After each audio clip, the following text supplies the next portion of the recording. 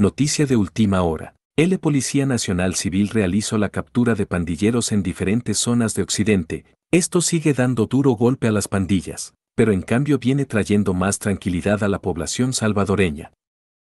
No olvides suscribirte al canal y prender la campanita. La Policía Nacional Civil desarticuló a dos estructuras criminales, mediante órdenes giradas por la Fiscalía General de la República de El Salvador en Santa Ana.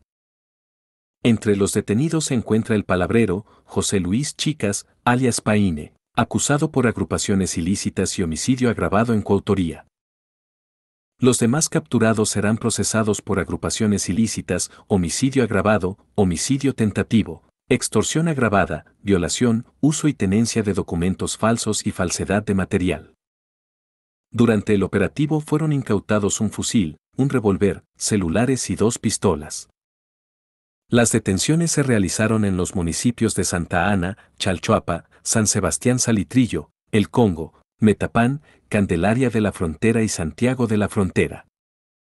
Estos pandilleros serán procesados por agrupaciones ilícitas, homicidio agravado en grado de coautoría, los demás serán procesados por agrupaciones ilícitas, homicidio agravado, homicidio en grado de tentativa, extorsión agravada, violación, uso y tenencia de documentos falsos y falsedad de material. A estos pandilleros se le incautarían una serie de artículos utilizados para cometer crímenes, entre ellos estaría un fusil, dos pistolas, uno revólver, celulares. Ayer llegó una salvadoreña, Ernesto.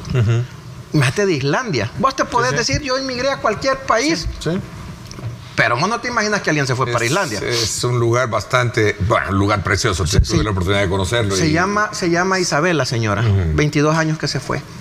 Isabel fue de las primeras víctimas de las maras. De las primeras víctimas históricas de las maras fue Isabel.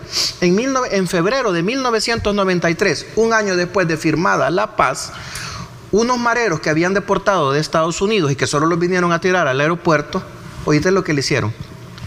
Mutilaron y torturaron a sus papás. A su mamá le cercenaron los pechos y le sacaron los ojos y la violaron.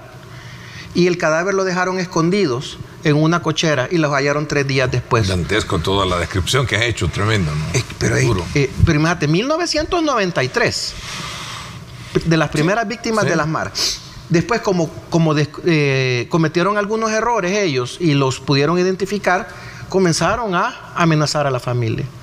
Ella se tuvo que ir. Y, en el, y, ayer mismo conozco a un muchacho que se llama Misael, que en Santana le matan al papá por negarse a pagar la extorsión. Diez años después. Entonces... Debe continuar el régimen de excepción. Pero no es porque lo dice Cristian o porque Alexia o porque nos va a dar votos. Es porque Isabel no los pide que está en Islandia. Bueno, de hecho también